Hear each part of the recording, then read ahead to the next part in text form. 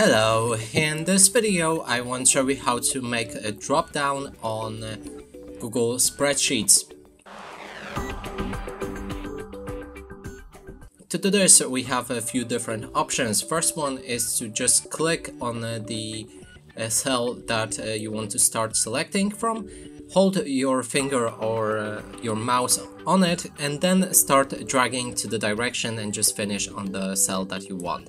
That way, as you can see, we just selected a part of the cells.